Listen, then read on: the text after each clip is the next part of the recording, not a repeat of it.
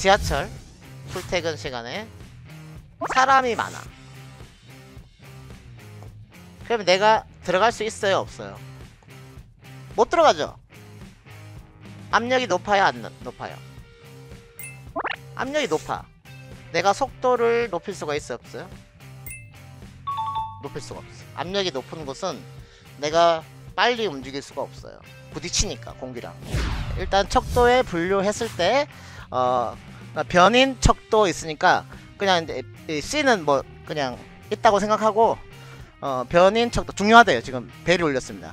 어, 중요하다고 연락이 왔네. 예. 그래서 변인 척도 해서 어, 변시 인척도 비동에 서명했다. 비동 아파트에 계약했다. 뭐 이런 식으로 비동 서명 이렇게 하면은 비동 서명 비왜 비를 먼저 했냐면 어, 이 비율 척도가 답으로 더 많이 나옵니다. 2025가 2022다 라는 거 꼭 기억을 해야 된다. 여기서 이제 지도사 문제로 해가지고 선의지가 빈칸으로 이제 나왔었고요.